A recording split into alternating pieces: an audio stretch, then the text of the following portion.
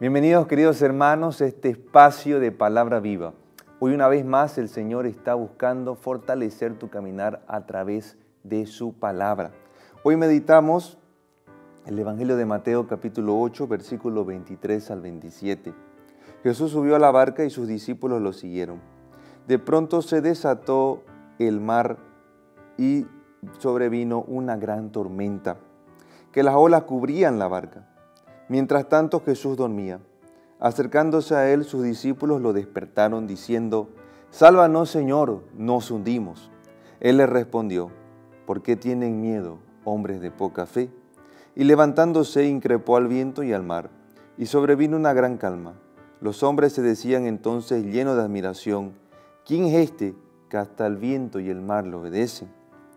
Hoy la palabra de Dios, queridos hermanos, nos está resaltando que en la vida van a suscitarse tempestades, va a suscitarse problemas, va a suscitarse situaciones que pueden causar que nosotros entremos en desesperación. Sin embargo, el Señor también nos hace recuerdo, queridos hermanos, que Él es Él mismo, el mismo Señor, el que nos ha invitado a subir a la barca. Y esta barca, querido hermano, lo más hermoso y lo más impresionante es que en esta barca está el Señor. Está acompañándonos constantemente. Él no nos deja solos. Y aunque nosotros muchas veces sentimos y creemos que Él nos ha abandonado o creemos que no está tomando en cuenta la situación que estamos viviendo, lo que está más bien Él haciendo es fortalecer nuestra fe. Es por eso que el Señor cuando se levanta de estar ahí acostado, de estar descansando, la primera afirmación que hace es, hombre de poca fe.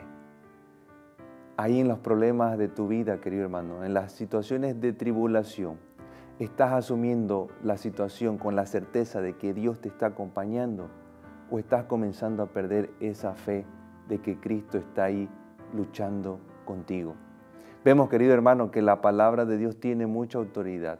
Él manda a calmar las olas y el viento y todo sigue con normalidad.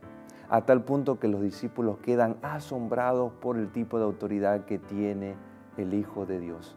Queridos hermanos, el Señor es el dueño de todo.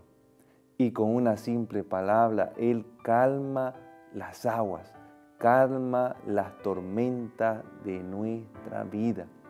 Y hoy el Señor nos dice, calma, calma, que yo estoy contigo y venceremos cualquier situación. Querido hermano, hoy el Señor te llena de esperanza, pero es importante que tú asumas a cabalidad esta situación, que tú asumas a cabalidad esta palabra de Dios y las puedas vivir a plenitud, confiando de que a pesar de que hoy tus ojos están viendo solo dificultad y oscuridad, Dios tiene el control.